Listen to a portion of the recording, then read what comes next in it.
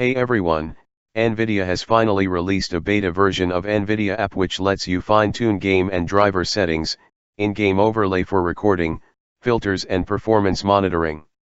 NVIDIA app replaces NVIDIA GeForce Experience aka GFE and no longer requires login to use, yes you heard it no login required to use Shadowplay and other NVIDIA features except for redeem coupons or games. Works on NVIDIA GTX 800 desktop and mobility series and later. I'll add the download links in the description. I'm using an older driver release 536.23.